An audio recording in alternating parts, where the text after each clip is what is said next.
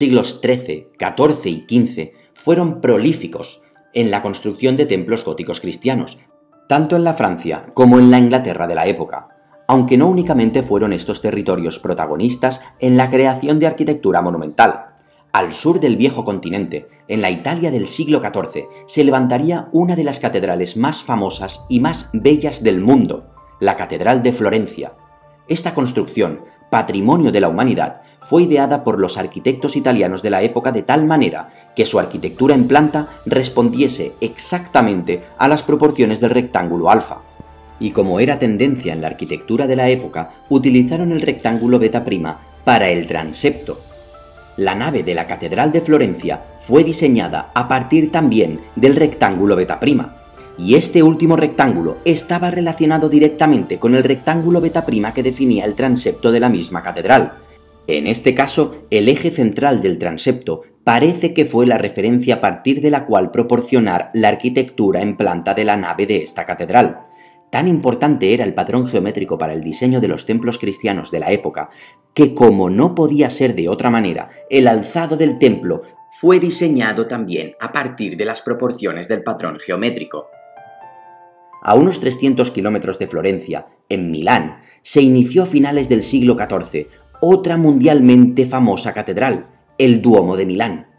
Este templo cristiano es la sede episcopal de la archidiócesis y su construcción se alargó hasta bien entrado el siglo XX, debido a que fue objeto de todas y cada una de las personalidades y reyes de las diferentes épocas para añadir espacios, motivos decorativos o añadidos arquitectónicos. Sus arquitectos originalmente fueron franceses y sus naves laterales son reflejo de la arquitectura gótica francesa, aunque ya en época renacentista diversos constructores italianos tomaron el relevo. Lo que es innegable es que la arquitectura general en planta del templo fue diseñada a partir de las proporciones del rectángulo beta prima, pero su transepto, en este caso, fue diseñado a partir de un rectángulo 1 por 2 lo que no dejaron pasar los arquitectos franceses fue volver a utilizar el rectángulo beta prima para diseñar el alzado de la nave central de la catedral, recordando a las de Reims o Bourges. Durante los siglos XIV y XV, no solo se construyeron enormes templos cristianos en Italia, sino que también podemos encontrar pequeños templos de culto como el construido en Roma a mediados del siglo XVI, llamado Iglesia de San Andrea de Vignola, en honor a su arquitecto, Jacopo de Vignola. Este pequeñísimo templo cristiano fue construido en nombre del Papa Julio III.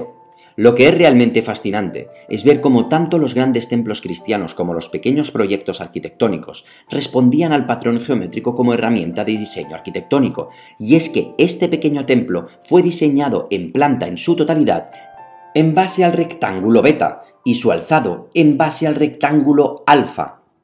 ¿Y qué estaba sucediendo en la arquitectura del Reino de España en los inicios y en pleno Renacimiento? Pues que se siguieron construyendo templos cristianos por todo el reino. La Catedral de Sevilla es un claro ejemplo de ello. Su construcción se inició a principios del siglo XV, en los terrenos ocupados anteriormente por una antiquísima mezquita. La construcción de la catedral se prolongó durante siglos hasta bien entrado el siglo XIX, ya que durante las distintas épocas se anexaron a ella sacristías, capillas y salas capitulares. Podemos comprobar que su arquitectura en planta presenta un diseño totalmente rectangular sin un ábside, absidiolo o girola que lo corone. Teniendo en cuenta que su primer arquitecto fue un maestro francés proveniente de Rouen, es muy interesante poder analizar que este espacio rectangular parece estar diseñado en su totalidad directamente por el rectángulo alfa. Ya en pleno siglo XVI se construyó la Catedral de Segovia, conocida como la Dama de las Catedrales, por sus dimensiones y presencia. Su estructura se finalizó en el mismo siglo XVI, aunque durante los dos siglos siguientes se siguieron completando y decorando capillas y retablos, es una de las catedrales góticas más tardías de Europa, aunque tiene evidentes rasgos de las corrientes renacentistas que inundaban el viejo continente. Su arquitectura en planta recupera la aplicación del patrón geométrico, tal y como lo hicieron las catedrales góticas de León o Burgos. Las proporciones principales del templo parecen responder al rectángulo alfa añadiéndole un ábside y deambulatorio en su extremo. Además, en alzado, podemos comprobar de nuevo que sus proporciones parecen estar definidas a partir del rectángulo beta. haciendo clara referencia a toda la tradición y simbología volcada en el patrón geométrico. Y una vez más, los arquitectos utilizaron el rectángulo beta' para dimensionar su nave central. Durante la segunda mitad del siglo XVI, a pocos kilómetros al norte de Madrid, ya convertida en sede de la corte del reino de Felipe II, se construyó, por orden de este mismo rey, el Real Monasterio de San Lorenzo del Escorial. Esta famosísima construcción, patrimonio de la humanidad, alberga una basílica, un monasterio, una biblioteca, un colegio y un palacio real. Lo que es realmente sorprendente es comprobar que el famoso rectángulo que definen sus imponentes muros responde exactamente a las proporciones del rectángulo beta. Antes de llegar a la construcción más reciente estudiada en el hallazgo, es importante subrayar que los templos cristianos seguían siendo construidos por todo el territorio de la vieja Europa. Es por ello que es muy importante fijarnos en catedrales construidas, por ejemplo, en Austria, ya durante el siglo XIX, como la Iglesia Votiva de Viena. Tras la Revolución Francesa y décadas después de evitar la entrada de Napoleón en Viena, la construcción de este imponente templo cristiano duró poco más de 25 años. Es una clara demostración del estilo neogótico, y sus planos fueron realizados por el famoso arquitecto Heinrich von Werstel, uno de los arquitectos responsables del diseño y crecimiento de la actual ciudad de Viena, ya que fue responsable de la construcción de varias iglesias y palacios, entre otros proyectos. De hecho, este arquitecto se inspiró en la Catedral de Cologne, construida 600 años antes, y del mismo modo que los arquitectos de la Catedral de Cologne, Ferstel, del que también se especula su relación con la masonería de la época, sin duda recuperó la tradición de aquellos diseñadores, utilizando de nuevo el rectángulo beta prima para las proporciones que forman las torres, nave, coro y ábside con deambulatorio del templo. También se sirvió de las mismas proporciones para diseñar la nave del templo en proporción a su ábside y volvió a utilizar las mismas proporciones para el transepto del templo. Resulta evidente entonces que algunos de los arquitectos más importantes del siglo XIX siguieron utilizando la tradición milenaria de aplicar el patrón geométrico en la arquitectura monumental europea. El paso por la histórica Viena nos permite entrar ahora en la que es, cronológicamente hablando, la última de las construcciones estudiadas por el hallazgo, que no podía ser otra que la Sagrada Familia de Barcelona.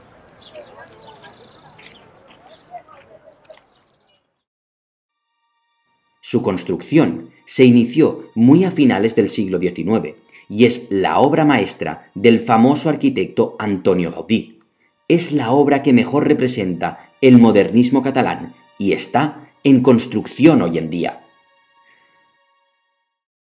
También se ha especulado muchísimo acerca de la posibilidad de si Antonio Gaudí formó parte de las logias masónicas de la época. Esto es terriblemente contradictorio al hecho de que la persona que lo nombró responsable de las obras de la Sagrada Familia fue Joan Martorell, uno de los ortodoxos arquitectos cristianos más importantes de la época. Entonces os estaréis preguntando, Antonio Gaudí utilizó el patrón geométrico como herramienta de diseño arquitectónico para definir las principales proporciones de la Sagrada Familia? Vamos a verlo. Aunque el diseño final ha variado mínimamente desde los planos originales de Gaudí, se puede comprobar que en planta, Antonio Gaudí siguió utilizando el rectángulo alfa añadiéndole un ábside y deambulatorio en su extremo para definir las principales proporciones del templo, y el rectángulo beta de la misma longitud para definir la longitud del transepto excluyendo sus ocho torres de entrada por lo que se puede afirmar que Gaudí, de algún modo, fue iniciado en esta tradición arquitectónica milenaria y la aplicó hasta el siglo XX, hasta nuestros días. Pero la aplicación del patrón geométrico no solo acaba en el diseño en planta del templo. Como no podía ser de otra manera, en alzado, Gaudí no dejó nada al azar. Utilizó el rectángulo alfa a partir, y esto es muy importante, de la misma anchura que en su diseño en planta, para proporcionar el alzado total de la nave del templo, y añadiendo el rectángulo beta con la misma altura, puede comprobarse que realmente define de nuevo la longitud del transepto excluyendo sus ocho torres, recordando muchísimo al diseño en alzado de la Catedral de Segovia y haciendo una completa referencia al patrón geométrico. Está claro entonces que Antonio Gaudí utilizó el patrón geométrico como herramienta de diseño para definir las principales proporciones del templo. Pero hay una cuestión en la que no hemos profundizado en este octavo capítulo, y seguro que ya os habréis dado cuenta, que es cómo acotar las medidas concretas, las longitudes concretas de los rectángulos alfa y beta cuando estos intervienen en el diseño arquitectónico de los templos. Vamos a profundizar en ello. Sabemos que los rectángulos alfa y beta tienen longitudes iguales a 14 o múltiplos de 14, pero desgraciadamente, como ocurrió cuando el hallazgo estudió la arquitectura de la antigua Grecia, no ha llegado hasta nuestros días documentación o planos originales de las construcciones medievales, renacentistas y modernistas estudiadas que no solamente acotasen las construcciones, sino que también especificasen qué medida concreta de longitud utilizaron en cada una de las construcciones levantadas durante el segundo milenio de nuestra era. Sin embargo, sabemos que Gaudí utilizó el metro para el diseño de la Sagrada Familia y tenemos infinidad de documentación arquitectónica que nos permite acotar hasta el último rincón de su arquitectura. Así que vamos a ver qué nos encontramos. Una de las claves del diseño arquitectónico de la Sagrada Familia es el conocido como módulo de Gaudí, de 7,5 metros de longitud. Este valor es la distancia entre los centros de las columnas que forman la nave del templo. Lo realmente increíble es comprobar que si escalamos el plano en planta a partir de esta medida, la longitud total del rectángulo alfa y beta es de 77 metros, múltiplo exacto de 14. Y no solamente eso, Realizando el mismo ejercicio en alzado, la altura de ambos rectángulos vuelve a ser 77 metros. Es decir, Gaudí utilizó los mismos rectángulos alfa y beta de longitud 77 metros ambos para diseñar por completo la planta y el alzado de la nave de este excepcional templo cristiano. Y por si todavía queda alguna duda, igual que vimos en el capítulo 3, donde se exponen las diferentes pruebas de que el patrón geométrico realmente fue utilizado como una herramienta de diseño, en la Sagrada Familia hay una prueba expuesta a la vista de todo el mundo, que no es otra que el cuadrado mágico, obra de Joan María Subirats, artista catalán, autor también de toda la escultura y la fachada de la Pasión, y confeso devoto de la obra de Antonio Gaudí.